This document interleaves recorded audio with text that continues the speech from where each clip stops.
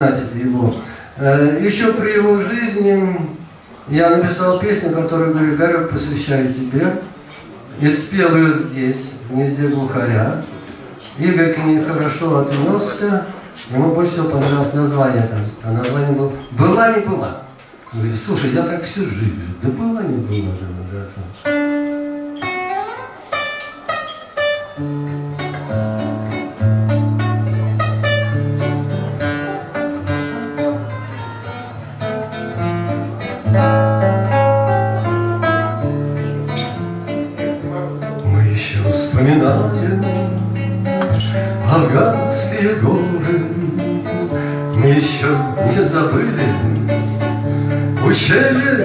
Чечни, Но уже не про них мы ведем разговоры, Доживая солдатские скудные дни.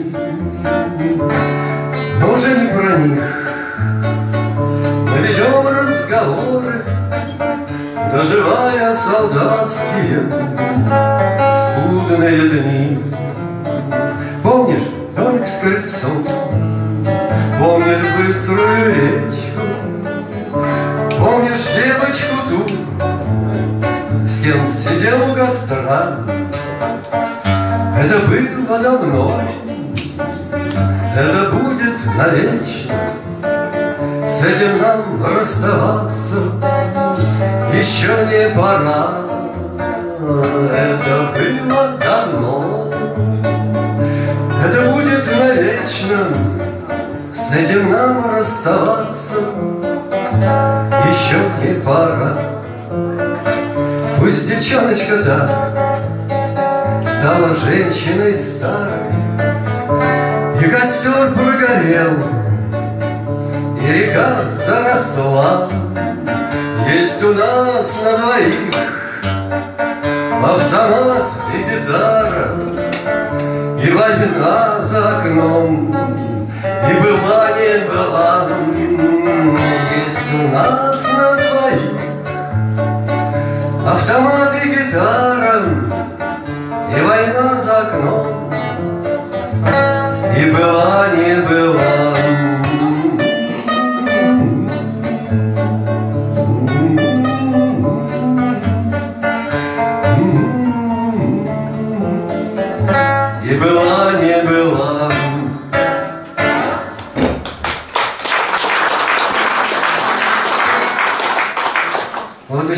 Когда афганская война, я написал песню там о возвращении. Она называлась Кабул-Ташкент.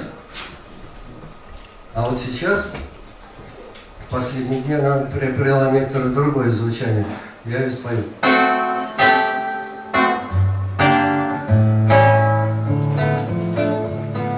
Драных кирзачах с пушкой на плечах Афган. В солнечных лучах, в ледяных ночах Снился нам зеленый Ан. Кабул, Ташкент и далее на Киев Где заждались Крещатик и Подол Оксана Н и многие другие которых я пока что не нашел. Сброшен лишь невес, сдана КМС и получена медаль. И глядишь с небес, как Афган исчез, Впереди другая даль, Кабул, Ташкент и далее на Киев, Где заждались Крещатик и Подол, Оксана Н. и многие другие, Которых я пока что не нашел. Родина в окне, фото на стене, Над кроватью свет луны. Что сказать жене, если снится мне Не любовь, а путь с войны? Кабул, Ташкент и далее на Киев, Где заждались Крещатик и Подол, Оксана Н. и многие другие, Которых я, конечно, не нашел. Кабул, Ташкент и далее на Киев.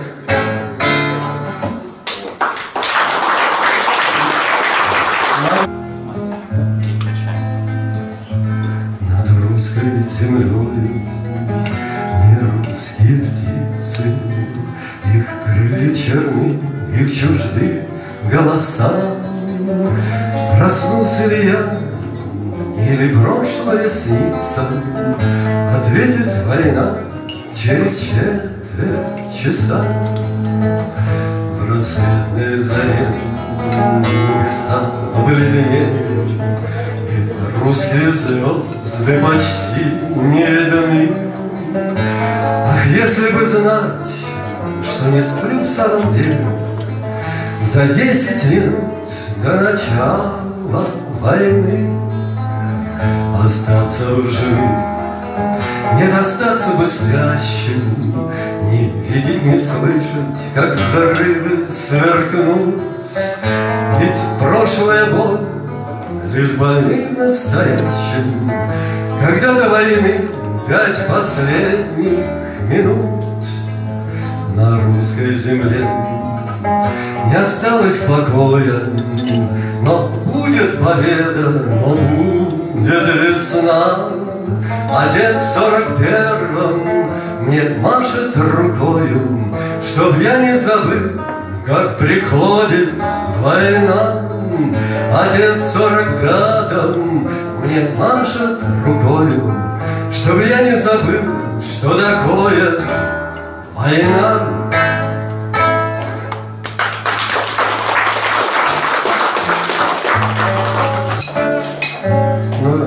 Все-таки нашей встречи я назвал, она начиналась со словом «любовь».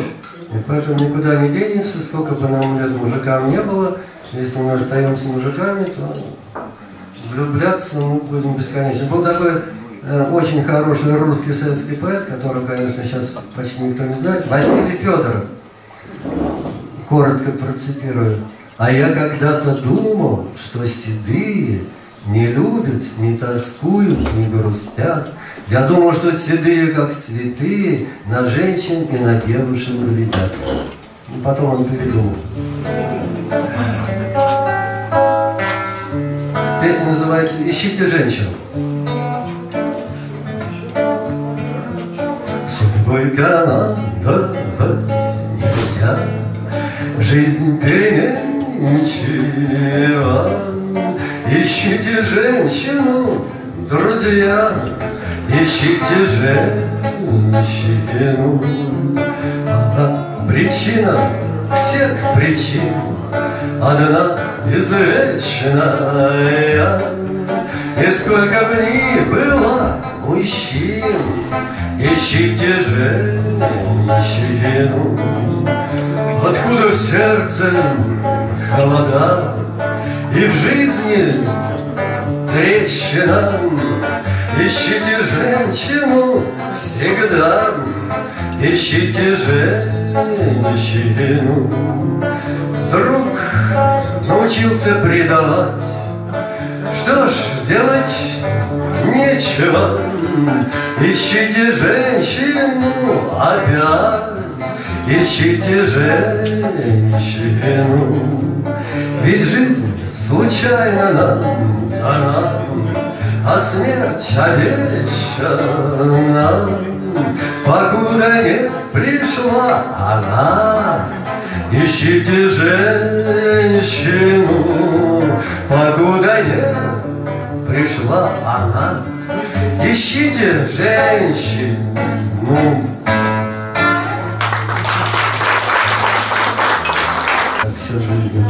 Вот песня о, о потере. На улице вихрь водой головой И старый балкон над моей головой. И утренним солнышком освещена Стоит на балконе чужая жена.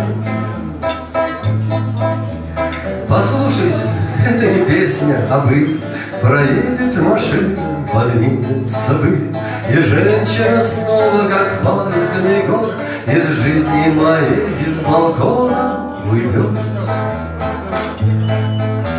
Конечно, я сам был во всем виноват, Конечно, нельзя возвратиться назад, но как мы посмели, но как мы смогли Расстаться с любовью в случайной пыли. Пора здесь дорогу перегородить, И мне бы пора перестать приходить На улицу Вихрева к дому тому, Где я ни себя, ни ее не пойму. На улице Вихрева дом угловой И старый балкон над моей головой И утренним солнышком освещена Стоит на балконе чужая жена.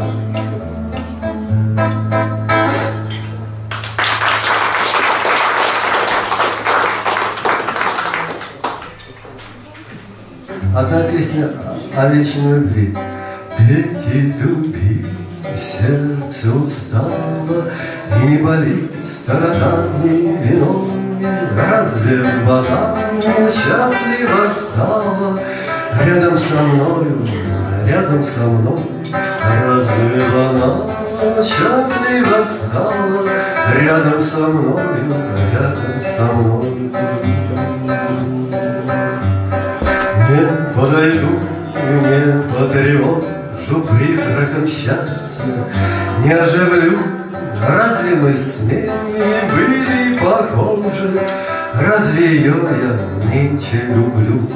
Снова апрельный месяц печали, Дали прозрачный, дали пустым, Разве вся жизнь не та, что в начале Нашей любви, нашей мечты?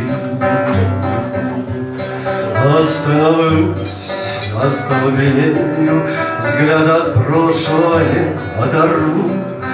Разве я знал, встретившись с нею, Что я расстанусь с ней наяву?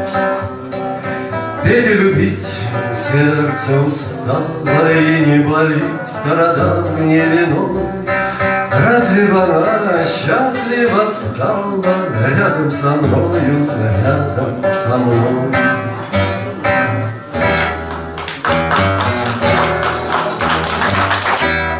Девятая рота. Еще на границе и дальше границы Стоят в ожидании наши полки, А там на подходе к афганской столице Девятая рота примкнула штыки. Девятая рота сдала партбилеты, Из памяти вычеркнула имена. Ведь если затянется бой до рассвета, То не было роты, приснилась она. Войну мы тогда называли работа, А все же она оставалась войной.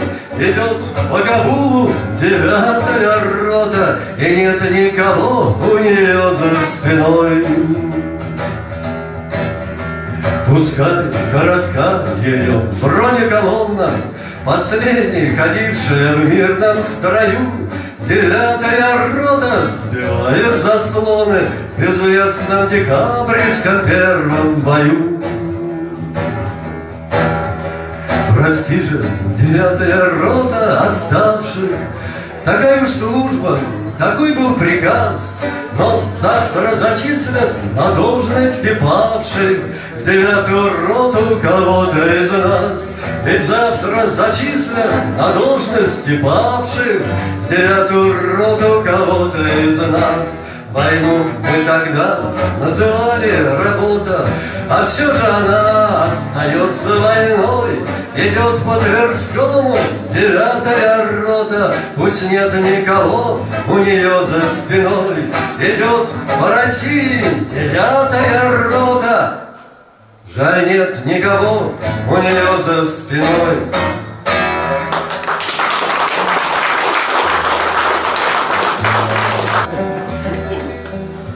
У меня был какой-то телевизионный фильм еще на советском центральном телевидении, назывался «Офицерский романс». И вот, да, сейчас, кстати, YouTube, по-моему, закрыли, но, принципе, где-то на моем сайте это осталось. Не очень хорошая запись. А сайт нужно набрать Виктор Верстаков. Не просто Верстаков, потому что там все черное что выскакивает там, где молотки там, где это самое, где ремонт. Там. Виктор Верстаков и сайт должен выскочить. И вот мне показалось, что один из первых вариантов вот, песни «Офицерский романс», он сейчас как-то по-новому звучит. Офицерский романс, желтый лист на погоне, Хрипловатый напев неизвестной войны, И чужие глаза, и родные ладони, Батальонная явь гарнизоны ясны. С восемнадцати лет под военные марши Мы служили и жили, и верили в них. Офицерский романс, он для тех, кто постарше, Он для тех, кто случайно остался в живых. Полковой барабан громыхает все глуше, Все обыденнее пули над нами жужжат, Слух привык ко всему, не привыкли бы души Те, что Богу и Родине принадлежат. Офицерский романс, одинокие ноты, Перетянутых струн в ослабевшей стране, Замолчать бы навек, но невидимый кто-то Подпевает в полголоса там на войне. Замолчать бы навек, но невидимый кто-то Подпевает полголоса здесь, на войне.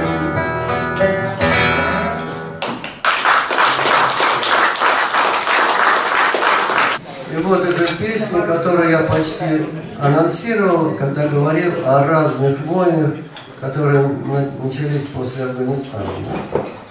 Я вот как-то хотел для себя привести в систему вообще вот, где, в каких там горячих, холодных точках бывал. И вот это, ну, получилось, что почти везде. Если что-то пропустил, простите, да. Но, кстати, далеко не всегда в разгар боевых событий, иногда чуть раньше приезжаешь, иногда чуть позже. Но, в принципе, эта песня называется «Далее везде» с подзаголовком «Размышления русского офицера о генеральном штабе». Проснулся утром, чую быть беде, Где пил вчера, какие были папы. Лишь помню директиву из генштаба в Афганистан и далее везде. Прошел в Афгане, впадины и выси, Был в морозилке и в сковороде, А дома директива на Тбилиси, Ну и затем, как водится везде. От суликов отбился малой кровью, Врет, что синяк остался на груди, А из генштаба клич на Приднестровье, Бендеры, Дубасары везде. Потом армяне с айзерами в страхе Сошлись на виноградной борозде. Я их мирил в Нагорном Карабахе, В Баку и в Сумгаите везде. С таджиками и вовсе было худо, Всем без в ребро, всем кровь на бороде. Пришлось пройти отсюда и до туда, Таджикистан и далее везде. Я разлюбил весь мир юго-восточный, Я заскучал по северной звезде, Но был направлен директивой срочной В Абхазию и далее везде. Осели русские туманы, Хотя еще дымились кое-где, И я слетал десантом на Балканы, На Приштину и далее везде. Но тут Чечня не то чтобы восстала, Но расходила горбиться в труде. И много наших с дуру постреляло, И в Грозном, и в Аргуне везде. И вновь грузины дурака сваляли, Решили осетин зажать в узде. И я по транскавказской магистрали Сходил в Скинвал и далее везде. Потом я был в Крыму и на Донбассе, Весь извалялся в угле и руде. Приказы ждал, как перемены в классе, на Киев, далее везде. Но сочинил Генштаб другую сказку, Что либо не писалось на воде. Я послан был в окрестности Дамаска, В Мимим Валепо, далее везде. Изгнал ИГИЛ оттуда, чтобы рядом С Россией была не черти где. Чтоб вновь Генштаб командовал парадом Опять в Афгане и опять везде Пусть мой Генштаб командует парадом Опять в Афгане, далее везде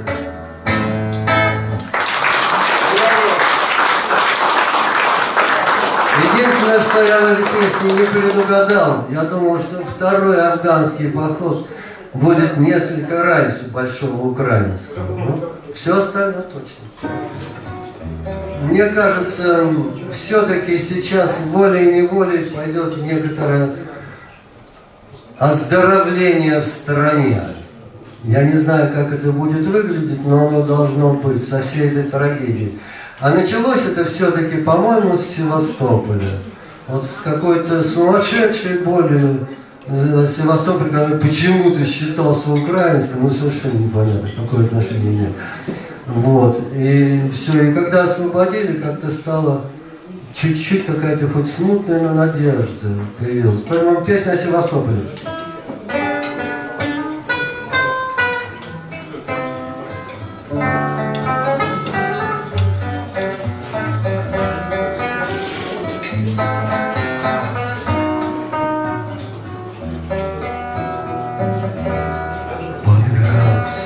Пристанью шепот глубокой зеленой воды. Еще далеко Севастополь до нашей последней беды. Еще Ингерманские тропы полынью не все заросли. Еще ты стоишь, Севастополь, на краешке русской земли. Еще Инкерманские тропы полынью не все заросли. Еще ты стоишь, Севастополь, на краешке русской земли. Над Азией над Европой холодные льются дожди. Останься со мной, Севастополь, пожалуйста, не уходи. Пусть слышен отчаянный ропот листвы на осеннем ветру. Останься в живых, Севастополь, иначе я тоже умру.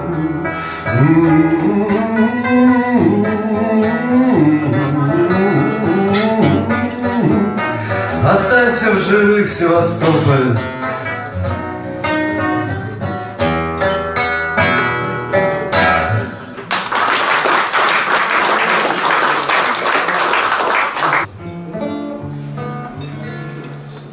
за шестьдесят, Пески взметнулись и висят, И лезешь в бронетранспортер, Как полыхающий костер, Выхватывая из огня Боекомплект шестого дня.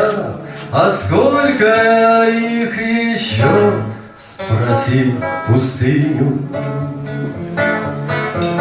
Шесть дней назад сказал комбат, Разведка видела отряд, Прет от границы прямиком, наверное, коротко знаком. С оазисами на пути, и мы должны его найти. А сколько их еще, спроси пустыню? Гудят вертушки день и ночь, они хотели бы нам помочь.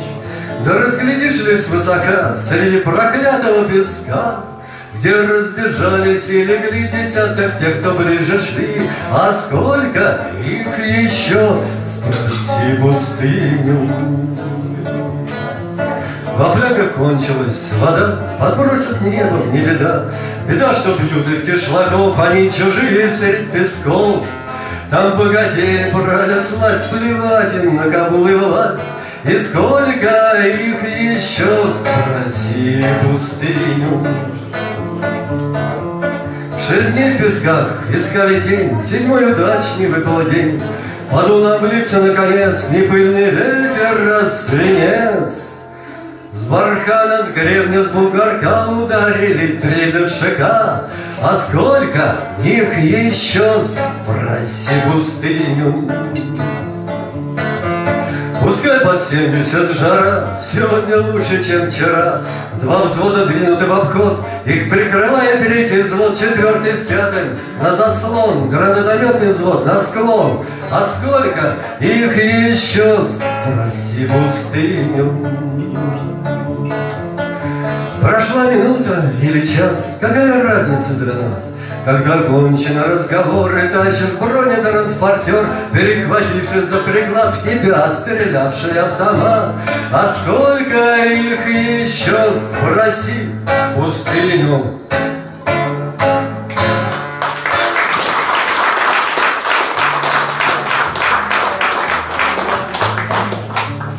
С Морозовым у меня связано очень много мистики. Если я начну сейчас это рассказывать, то э, времени не останется песни поспеть. Но одну мистику я расскажу. Игорек, он сам вообще-то из такой из Таганской шпаны, вот, но где-то на его старой квартире Таганской, на родительской я не был, мы еще не были знакомы.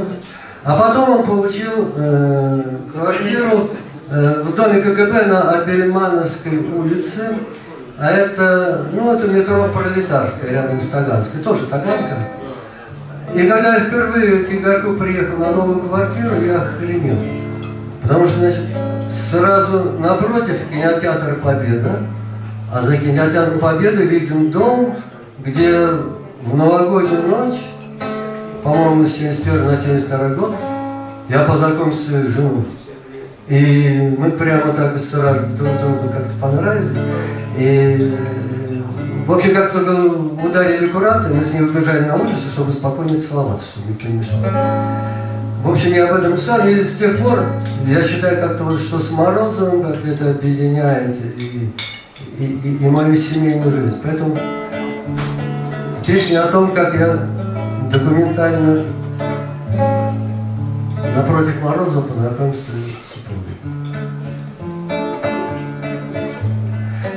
юбочке замшевой и в свитерке Вижу тебя в голубом далеке Там, где таганка мерцала в окне Там, где две тени сошлись на стене Там, где две тени сошлись на стене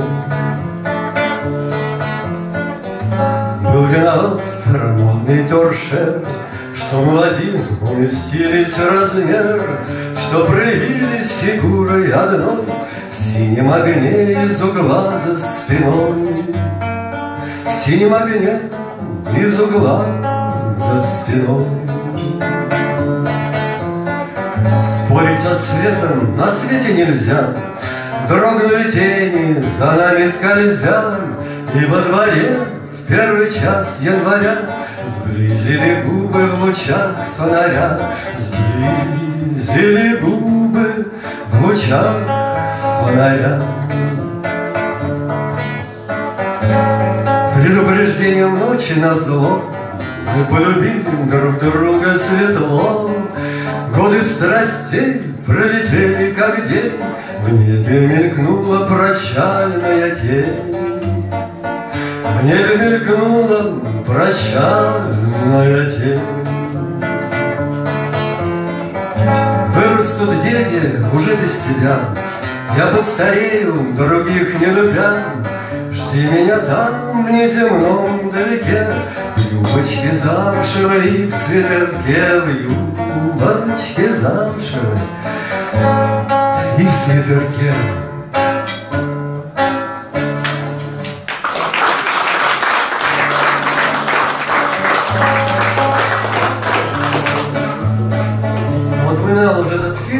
для меня важный там на телевидении офицерский романс. И его снимали мы наполовину как документальный, а наполовину как художественный. То есть очень много делали до съемок. И в том числе я помню, что режиссер, а, кстати, режиссер тоже был такой, который снимал обычно художественные фильмы. Э, по-моему, Юра Киселев. Вот. И он на, на одну съемку принес фляжку такую солдатскую, да? Знаете, канистра же ну, увидел там, открутил пробку, а оттуда вином пахнет. Он говорит, что там это самое? Знаете, что, важно, что ли? Я говорю, конечно. Ты же принес, наверное, выпить? Нет, говорит, это для, для съемок. Оказывается, в одном из эпизодов э, какой-то мы снимали для какой-то песни, по-моему, для Нюрки, что ли. Ну, в общем, э, ему был важен кадр, где автоматная пуля там пробивает фляжку, из нее течет что-то красное, вроде как кровь. Вот после этого я написал песню. Ведь это сердце, а не фляжка и не вода, течет как кровь. Спасай последняя тельняшка, дай силы первая любовь.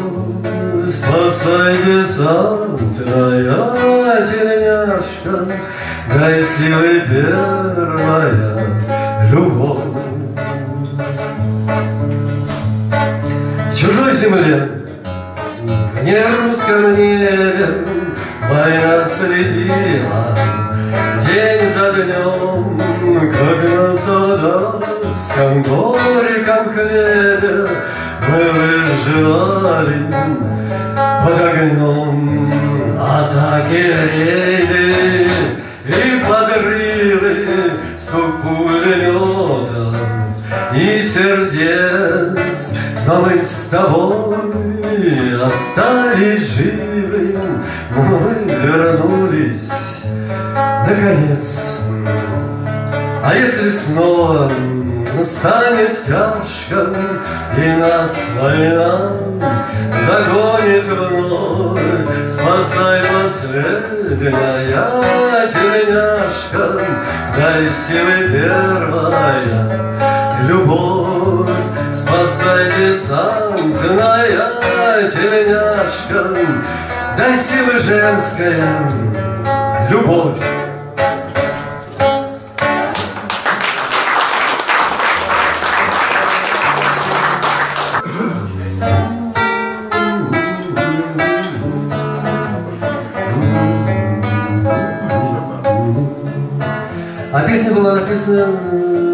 Где-то в середине еще афганских событий, то есть Виктор Дмитриевич уже в Афганистане отслужил, и потом куда-то мы его провожали к новому месту службы в Ленинграде. Он сядет на поезд хороший, уедет служить в Ленинград.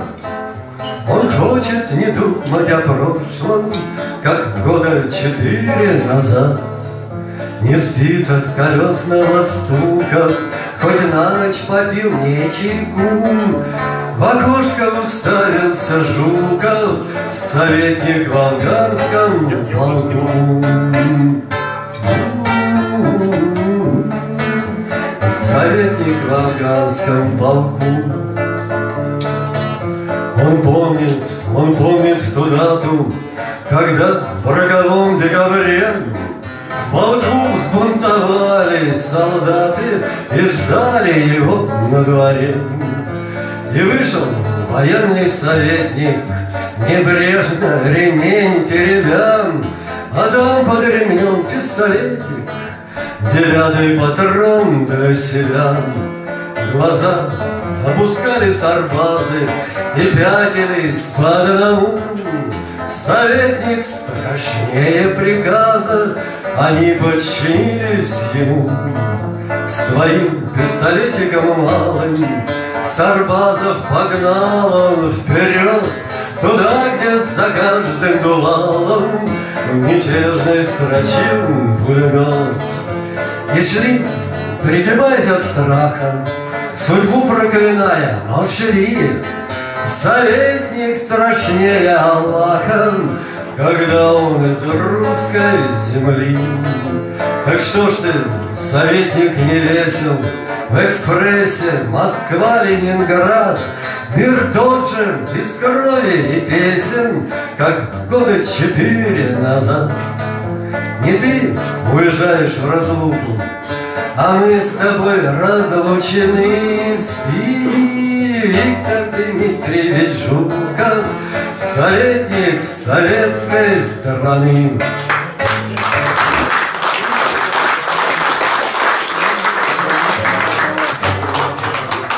Ну, здесь, конечно, сколько таких людей, если что-то хоть о каждом пятом пытаться сказать, то меня не хватит.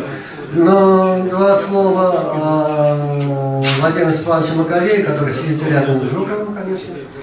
Э, это 345-й полк, а Володя, помимо того, что был первым настоящим героем, хотя звезду не получил, но все-таки 345-го э, полка. Он, кстати, человек, который брал вот это, когда брали дворец Амина, а он параллельно брал своими кулаками буквально. Э, сначала не стреляя, штаб ВС афганское, это было самое главное объект. Ну вот, а потом он э, сделал, написал, собрал книгу, какой вы в жизни не видели. Поэтому я вам рекомендую, когда сейчас будет перерыв, эта песня последняя перед перерывом, подойти к Маковею, у него несколько экземпляров есть. У кого руки сильные, она весит чуть не 5 килограмм. Может быть, он даст да. Прекрасная книга, вообще, как это кто-то пошутил. Было три великих полка, Семеновский, Преображенский и 345-й отдельный парашютно-десантный полк. Вот песня об этом полку.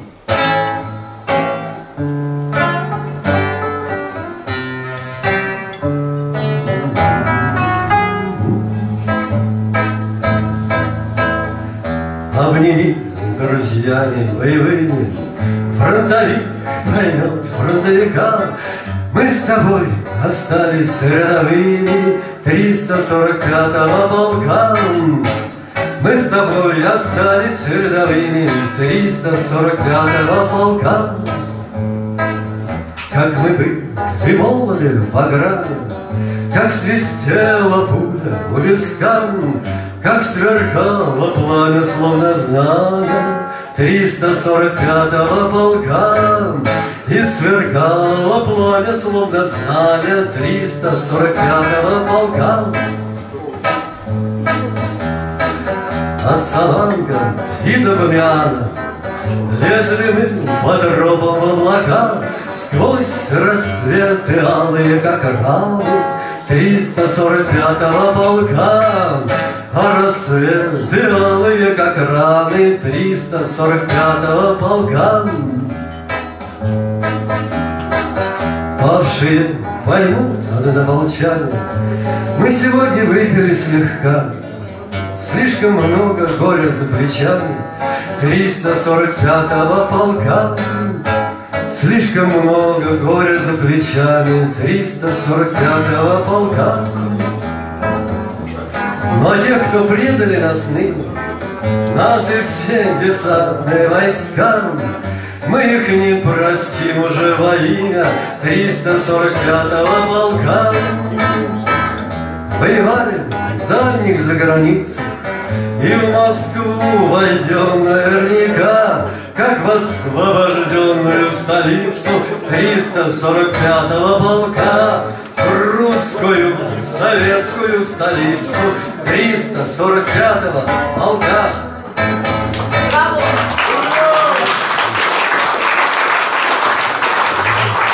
Старик, э, я знаю, что кто-то меня с чем-то хотел поздравить, наградить, это очень коротко. Э, Виктория, давай. Я просто долго был в деревне, поэтому не знаю. А без меня вышла книга, ну сейчас Вика покажет. А Виктория Радишевская, это главный редактор одного замечательного издательства, которое выпускает книги о Чечне, об Афгане, о прекрасных актерах, типа Ларисы Лужиной. Жалко, что сегодня не пришла, она приходила. Спасибо. Давай.